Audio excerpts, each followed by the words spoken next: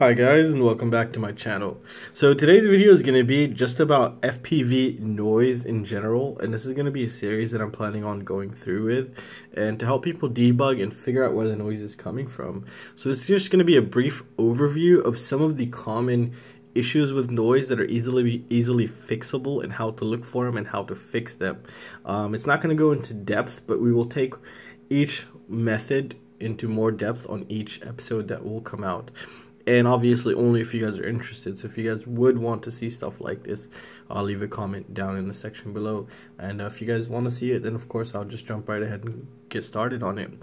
Now let's just start with the most uh, most of the time this happens to everyone. It happens to myself and i've had this through my personal experience because i've i've had a lot of problems with noise and i was able to fix them and debug them and figure out a couple techniques that might help you guys out there. So let's just say you built a quad or you've had your quad for a while flying beautiful no noise nothing. Uh, you had a couple crashes here and there here and there and all of a sudden noise just started to appear. This one is pretty good. I really like this one because now what you, first thing you want to do is you want to take a look at your ESCs. Make sure they're not damaged. They didn't get hit by a propeller. Um, I mean, if you're running a 4 in 1 ESC, you should be totally fine. Uh, you will see a, a broken wire and that motor won't work, so that doesn't really go in the air. Now, if your ESCs are fine, what you want to take a look at is, well, this one doesn't have one, your SMA port or RPSMA port because these bad boys tend to come off or break or a couple pins break off and it's just barely hanging and it vibrates. And the vibrations is what would cause the noise. And it's just easy fix. Just resolder it on or just change it out because the, this does happen to me a lot. And it's happened to many people who've also told me the same thing. And i told them just check your sma port. Thoroughly check it. Don't just look at it. Take a look nice look at it. Try to move it. And if you have another vtx stick another one on there 99% of the time that would be the issue and it's helped a lot of people and this is what I look for as soon as something starts making noise out of nowhere. So don't expect that to show up right away. Sometimes it doesn't. Sometimes it takes a while. Um, and uh, usually it does get worse and worse as time goes on but sometimes it doesn't. So that's just something to take note of as soon as you uh, as soon as you start seeing it. It's very important. However also. Uh, you also take note of every time you've changed your PIDs because a bad tune can create noise even with a low ESR capacitor and some voltage regulators. It's happened to me before. So bad tunes can actually create noise. For example, the other day I had one of my quads I was flying. I increased the yaw I term and it just terrible noise just popped out of nowhere. So I knew something was wrong, obviously. Um, so I started black boxing it, and that'll video be coming up later on uh, in this series, so I could show you that even a bad tune or some, you know, it could generate noise. Like for example, high D is well known to generate noise. Even if you didn't have any noise and you had everything set up for to reduce noise, it, it could still generate noise in your feed. So that's something to take note of. Um, if you have done that and all of a sudden noise start popping up, go back to your change your PID profile, reset it, and just start over. Try a different method of uh, tuning your quad because that's very important. All right. So now let's just say we built a quad and from the beginning we had noise.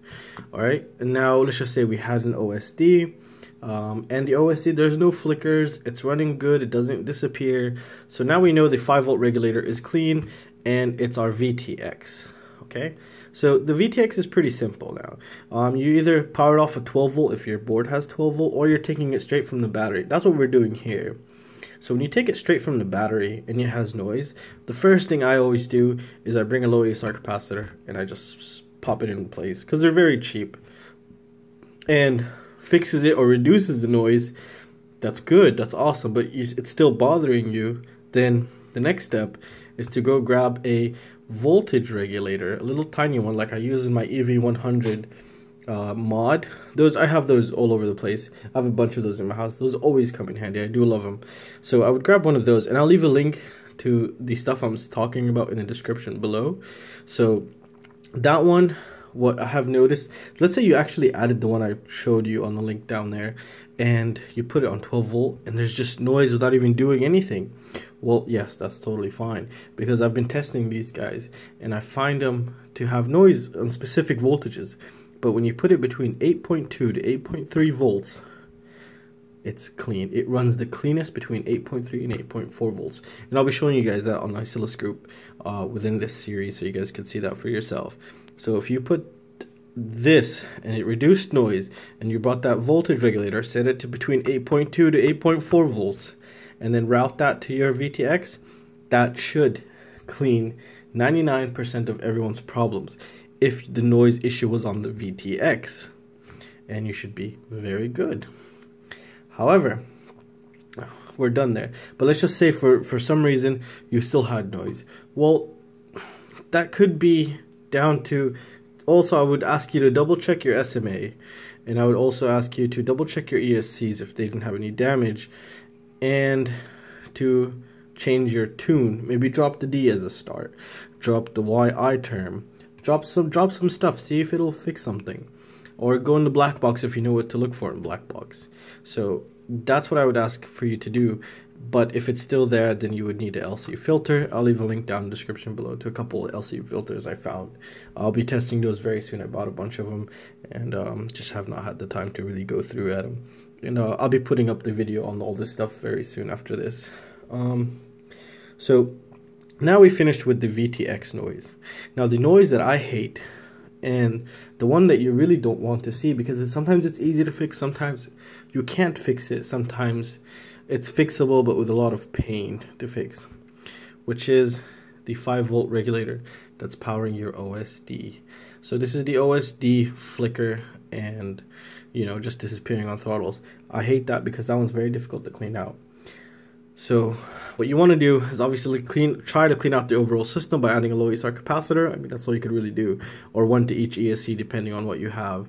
Uh, LittleBee Summers, LittleBee ESCs are the noisiest ESCs I've tested, and um, they're just known to just burn out components because their voltage spikes are so terrible, and they just just push that amps back in. I don't know what's wrong with them, but they're just absolutely terrible.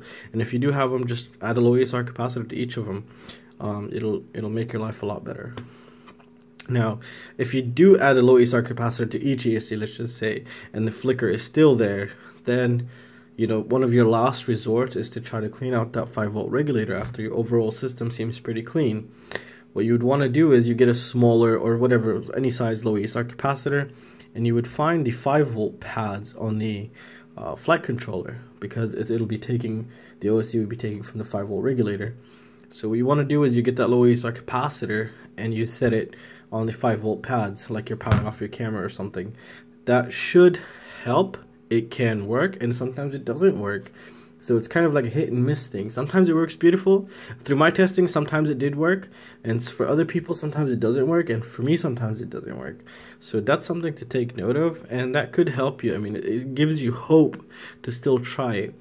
But the type of noise that I truly hate is OSD flickers. When I see that, I just get, I just get frustrated. Um, it's just it's very annoying. It's not a big problem to most, but to me, it just it's very frustrating. I really don't like it. So that's something to take note of. Um, what else do we have here? Oh yeah, another thing also, even an unbalanced prop with oscillations could even generate noise sometimes.